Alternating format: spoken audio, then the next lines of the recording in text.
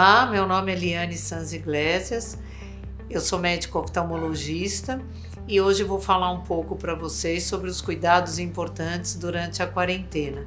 Vou tirar a máscara para poder é, ser melhor entendida.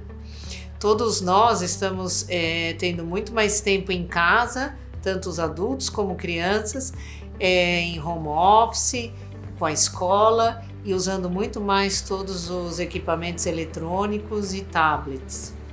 Ao longo do dia, temos várias atividades com esses equipamentos eletrônicos, várias lives, várias conferências. As crianças podem, em momento de diversão, vários videogames, além de todas as aulas online. Além disso, os ambientes normalmente a gente liga ar-condicionado, ventilador, é, no inverno o aquecedor, tudo isso pode provocar um ressecamento ocular e levar até uma exaustão da visão. Sem falar que esse uso excessivo da tecnologia na comunidade infantil pode agravar a miopia, que é a dificuldade para enxergar de longe.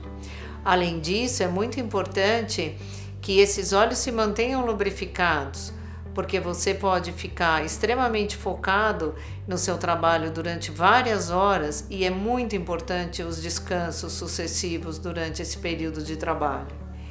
Eu vou passar para vocês algumas dicas importantes então para esse trabalho mais intenso junto ao computador. Principalmente a atualização dos óculos, porque pode ser o início de todos os sintomas. É muito importante que esses descansos periódicos seja com o olhar desviado da tela a cada 20 minutos, que seja desviado pelo menos por alguns segundos, ou que a cada uma hora a gente levante do ambiente de trabalho para fazer um descanso com uma pausa um pouco mais prolongada. É muito importante também que se mantenha uma distância adequada do monitor, né? De ao redor de 30 centímetros. Além disso, lembrar sempre de piscar de forma voluntária. Às vezes a gente fica muito focado na tela do computador e esquece de piscar. É importante também a ingesta líquida frequente, assim como uma boa noite de sono, pelo menos de 8 horas. É importante que o uso de lubrificantes que pode manter os olhos mais hidratados e dar um conforto visual seja feito através de uma prescrição médica.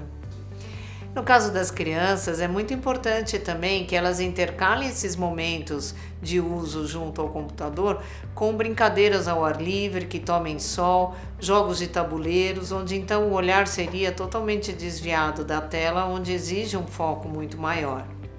Sabemos também que nesse momento os olhos é uma porta de entrada importante para o vírus, o Covid-19. Até 3% de pessoas podem apresentar uma conjuntivite pelo vírus e se manifestar com sintomas de olho vermelho, irritação, sensação de coceira, de corpo estranho, lacrimejamento. Então é muito importante que seja feito esse diagnóstico logo de entrada. Além da conjuntivite, sabemos que o vírus pode se alojar em outras estruturas oculares, como a íris, que é o colorido do olho, e na retina. Já existem alguns estudos científicos que estão demonstrando a presença do vírus na retina e podem causar doenças muito mais graves do que uma simples conjuntivite. Por todas essas razões, eu reforço muito a importância de higienizar as mãos de forma é, constante durante o dia e de forma eficaz, usar a máscara, face shield, evitar de colocar as mãos nos olhos e no rosto para que se evite a contaminação pelo vírus. E em caso de usuários de óculos, todas as vezes que for lavar a mão, é importante lavar os óculos com água e detergente não se usar nunca álcool gel para evitar uma conjuntivite química ou mesmo até uma úlcera de córnea. No caso das lentes de contato, é importante que se mantenha a higiene diária dela, que se mantenha uma higiene eficaz na hora de estocar as lentes, porque as lentes podem ser um grande transmissor do vírus. Por tudo isso que falei, é muito essencial que seja mantida sua visão de forma adequada e procurar um oftalmologista, não adiar sua consulta oftalmológica. Temos em nosso grupo especialistas de diversas subespecialidades que estão aptos a lhe atender tanto de forma presencial como através de teleorientação. Estamos aptos a fazer as consultas de teleorientação através da plataforma em que se disponibiliza tanto áudio como vídeo, e caso seja necessário, você é encaminhado para uma consulta presencial para que sejam feitos exames mais a fundo.